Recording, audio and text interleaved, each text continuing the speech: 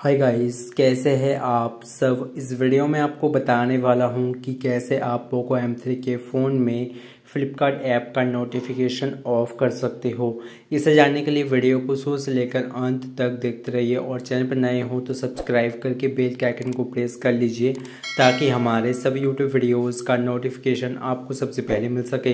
तो फ्लिपकार्ट ऐप का नोटिफिकेशन आप किस तरह से ऑफ़ कर सकते हो पोको एम के फ़ोन में? उसके लिए सबसे पहले आप पोको एम के फ़ोन में सेटिंग ऐप को खोल लीजिए। सेटिंग ऐप को खोलने के बाद थोड़ा सा नीचे आना है और यहाँ पर गाइज़ आपको ऐप्स का ऑप्शन मिल जाएगा ऐप्स के ऊपर क्लिक करना है।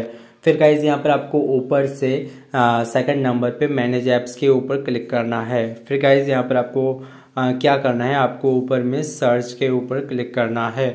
उसके बाद गाइज़ यहाँ पर आपको फ्लिपकार्ट लिख के सर्च करना है। एफ़ एल आई पी इस तरह से लिख देना है। उसके बाद फ्लिपकार्ट ऐप जो है सबसे पहले आ जाएगा इसके ऊपर क्लिक कर देना है।